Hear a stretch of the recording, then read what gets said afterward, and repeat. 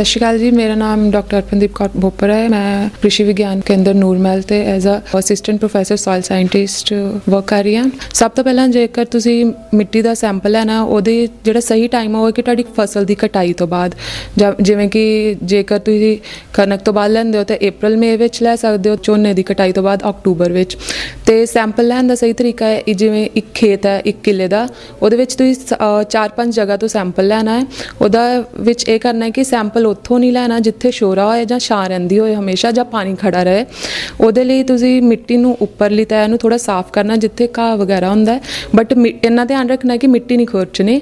ਤੇ ਉਸ ਤੋਂ ਬਾਅਦ ਇੱਕ 6 ਇੰਚ ਦਾ ਡੂੰਗਾ ਕੱਟ ਲਗਾਉਣਾ ਹੈ ਵੀ ਸ਼ੇਪ ਵਿੱਚ। ਉਹ ਤੁਸੀਂ ਖੁਰਪੇ ਨਾਲ ਹੀ ਤੁਹਾਡੀ ਸੈਂਪਲ ਲਿਆ ਜਾਏਗਾ।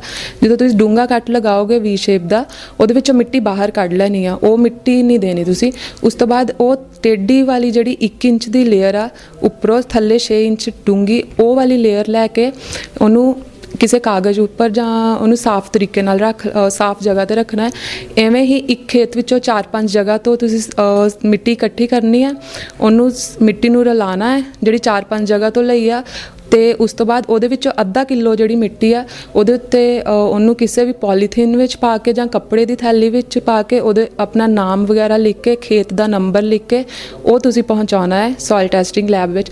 ਬਟ ਇਹ ਧਿਆਨ ਰੱਖਣਾ ਕਿ ਜੇਕਰ ਮਿੱਟੀ ਤੁਹਾਡੀ ਗਿੱਲੀ ਹੈ ਸੈਂਪਲ ਗਿੱਲਾ ਹੈ, ਜਲਦੀ ਰਿਪੋਰਟ ਚਾਹੀਦਾ ਤਾਂ ਉਹਨੂੰ ਸੁਕਾ ਕੇ ਦਿਓ। ਤੇ ਇੱਕ ਗੱਲ ਦਾ ਹਮੇਸ਼ਾ ਧਿਆਨ ਰੱਖਣਾ ਹੈ ਕਿ ਜਦੋਂ ਵੀ ਤੁਸੀਂ ਮਿੱਟੀ ਦਾ ਸੈਂਪਲ ਸੁਕਾਉਣਾ, ਉਹਨੂੰ ਕਦੀ ਵੀ ਧੁੱਪ 'ਚ ਨਹੀਂ ਸੁਕਾਉਣਾ, ਉਹਨੂੰ ਹਮੇਸ਼ਾ ਛਾਂ ਵਿੱਚ ਸੁਕਾਉਣਾ ਹੈ ਤਾਂ ਕਿ ਉਹਦੇ ਜਿਹੜੇ ਜ਼ਰੂਰੀ ਤੱਤ ਹੈ ਉਹ ਉੱਡ ਨਾ ਜਾਣ। ਜੇਕਰ ਸੈਂਪਲ ਹੀ ਗਲਤ ਲਿਆ ਗਿਆ ਤਾਂ ਤੁਹਾਡੀ ਰਿਪੋਰਟ ਵੀ ਗਲਤ ਆਏਗੀ। ਕਦੇ ਵੀ ਖੜੀ ਫਸਲ ਵਿੱਚੋਂ ਸੈਂਪਲ ਨਹੀਂ ਲੈ ਕੇ ਆਉਣਾ ਕਿਉਂਕਿ ਉਦੋਂ ਅਸੀਂ ਖਾਦ ਪਹਿਲਾਂ ਹੀ ਪਾਈ ਹੁੰਦੀ ਹੈ ਤਾਂ ਉਹ ਤੁਹਾਡੀ ਹਰ ਚੀਜ਼ ਜ਼ਿਆਦਾ ਹੀ ਆਏਗੀ। ਜਦੋਂ ਤੁਸੀਂ ਸੋਇਲ ਟੈਸਟਿੰਗ ਲੈਬ ਵਿੱਚ ਲੈ ਕੇ ਆਓਗੇ, ਉਹਦੇ ਵਿੱਚ ਅਸੀਂ ਦੋ ਤੱਤ ਕਰਦੇ ਹਾਂ। ਇੱਕ ਤਾਂ ਵੱਡੇ ਤੱਤ, ਇੱਕ ਛੋਟੇ ਤੱਤ। ਵੱਡੇ ਤੱਤਾਂ ਵਿੱਚ ਅਸੀਂ ਯੂਰੀਆ ਕਰਦੇ ਹਾਂ। ਉਹਦੀ ਸੋਇਲ ਦਾ ਖਾਰੀ ਅੰਗ ਕਿੰਨਾ ਹੈ ਪੀਐਚ ਕਿੰਨੀ ਆ ਫਾਸਫੋਰਸ ਕਿੰਨੀ ਹੈ ਪੋਟਾਸ਼ ਜਿਹੜੇ ਛੋਟੇ ਤੱਤ ਆ ਉਹਨਾਂ ਵਿੱਚ ਅਸੀਂ ਮੈਂਗਨੀਜ਼ ਕਰਦੇ ਹਾਂ, ਜਿਹੜੀ ਕਿ ਅੱਜ ਕੱਲ ਬਹੁਤ ਜ਼ਿਆਦਾ ਘਾਟ ਆ ਰਹੀ ਹੈ। ਕਰਨ ਵਿੱਚ ਕੋ- ਤਾਂਬਾ ਕਰਦੇ ਹਾਂ, ਲੋਹਾ ਕਰਦੇ ਹਾਂ ਤੇ ਜ਼ਿੰਕ ਕਰਦੇ ਹਾਂ। ਇਹਦੀ ਰਿਪੋਰਟ ਤੁਹਾਨੂੰ 10 ਦਿਨਾਂ ਦੇ ਅੰਦਰ ਅੰਦਰ ਮਿਲ ਜਾਏਗੀ ਤੇ ਜੇਕਰ ਤੁਸੀਂ ਇਕੱਲੇ ਵੱਡੇ ਤੱਤ ਕਰਵਾਉਣੇ ਆ, ਉਹ ਉਹ ਵੀ ਅਲੱਗ ਤੋਂ ਕਰਵਾ ਸਕਦੇ ਹੋ, ਉਹਦਾ ਵੀ 20 ਰੁਪਏ ਦਾ ਜੇਕਰ ਤੁਸੀਂ ਛੋਟੇ ਤੱਤ ਕਰਵਾਉਣੇ ਆ ਉਹ ਵੀ 20 ਰੁਪਏ ਦੇ ਹਿਸਾਬ ਨਾਲ, ਮਤਲਬ ਜੇ ਦੋਨੋਂ ਕਰਵਾਉਂਦੇ ਹੋ ਤਾਂ ਤੁਹਾਡੇ 40 ਰੁਪਏ ਲੱਗਦੇ ਆ। ਤੇ ਇਸ ਲਈ ਬਟ ਇਹ ਜ਼ਰੂਰੀ ਹੈ ਕਿ ਤੁਸੀਂ ਛੋਟੇ ਤੱਤ ਹਮੇਸ਼ਾ ਕਰਵਾਓ, ਕਿਉਂਕਿ ਅਸੀਂ ਯੂਰੀਆ ਤੇ ਡਾਇਆ ਤਾਂ ਹਮੇਸ਼ਾ ਪਾ ਹੀ ਰਹੇ ਹਾਂ। ਮੇਨ ਕਮੀ ਜਿਹੜੀ ਆ ਰਹੀ ਹੈ ਛੋਟੇ ਤੱਤਾਂ ਦੀ ਆ ਰਹੀ ਆ ਉੱਪਰੋਂ ਬਿਨਾ ਟੈਸਟ ਕੀਤੇ, ਜੇਕਰ ਛੋਟੇ ਤੱਤ ਪਾਉਂਦੇ ਹਾਂ ਤਾਂ ਸਾਡਾ ਖਰਚਾ ਵੱਧਦਾ ਇਸ ਲਈ ਜ਼ਰੂਰੀ ਹੈ ਕਿ ਉਸ ਖਰਚੇ ਨੂੰ ਘਟਾਉਣ ਲਈ ਆਪਣੀ ਮਿੱਟੀ ਟੈਸਟ ਕਰਾ ਲਓ ਤੇ ਜਿਹੜੀ ਚੀਜ਼ ਦੀ ਜ਼ਰੂਰਤ ਹੈ, ਉਹੀ ਪਾਈ ਜਾਏ। ਹੁਣ ਇੱਕ ਤਰੀਕਾ ਹੈਗਾ ਕਿ ਕੋਈ ਲੋਕ ਕਹਿੰਦੇ ਕਿ ਅਸੀਂ ਮਿੰਨੀ ਕਿਟ ਆਪ ਲੈ ਕੇ ਉਸ ਨੂੰ ਟੈਸਟ ਕਰਾਇਆ ਜਾਏ। ਬਟ ਇਹ ਜਾਣਕਾਰੀ ਤੁਹਾਡੇ ਲਈ ਕਿ ਜੇਕਰ ਤੁਸੀਂ ਮਿੰਨੀ ਕਿਟ ਨਾਲ ਆਪ ਸੈਂਪਲ ਟੈਸਟ ਕਰਦੇ ਹੋ ਤਾਂ ਤੁਹਾਨੂੰ ਉਹ ਜ਼ਿਆਦਾ ਮਹਿੰਗਾ ਪਏਗਾ, ਕਿਉਂਕਿ ਜਿਹੜਾ ਰੇਟ ਸਾਨੂੰ ਗਵਰਨਮੈਂਟ ਨੇ ਅਪਰੂਵ ਕੀਤਾ, ਉਹ ਸਬਸਿਡੀ ਦੇ ਕੇ ਕੀਤਾ ਹੈ।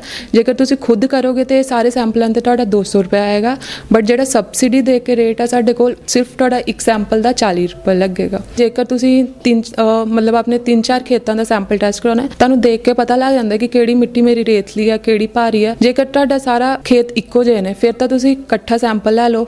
ਇੱਕੋ ਹੀ ਸੈਂਪਲ ਬਹੁਤ ਹੈ, ਚਾਰ ਪੰਜ ਖੇਤਾਂ ਦਾ। ਬਟ ਜੇ ਤੁਹਾਨੂੰ ਲੱਗੇ ਕਿ ਤੁਹਾਡੀ ਇੱਕ ਜ਼ਮੀਨ ਥੋੜੀ ਰੇਤਲੀ ਆ, ਇੱਕ ਖੇਤ ਤੁਹਾਡਾ ਭਾਰਾ ਹੈ, ਕਿਤੇ ਦੂਰ ਦੂਰ ਹੈ, ਉਹਨਾਂ ਦਾ ਜ਼ਰੂਰ ਅਲੱਗ-ਅਲੱਗ ਸੈਂਪਲ ਟੈਸਟ ਕਰਾਓ, ਕਿਉਂਕਿ ਉਹ ਨਹੀਂ ਤਾਂ ਸਾਰਾ ਕੁਝ ਐਵਰੇਜ ਆ ਜਾਏਗਾ ਤੇ ਉਹ ਤੁਹਾਡੇ ਸ- ਖੇਤ ਦੀ ਸਹੀ ਜਾਣਕਾਰੀ ਨਹੀਂ ਦੇਵੇਗਾ ਤੁਹਾਨੂੰ।